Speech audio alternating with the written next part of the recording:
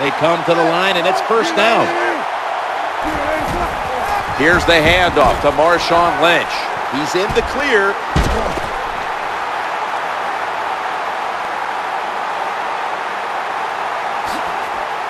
Touchdown. And this game just got a whole lot more interesting.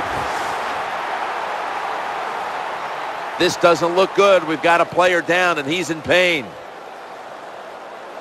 Well, that looks like an upper body injury, Jim. I think we both can tell that. And uh, now the question is, how bad is it? Uh, you just never know.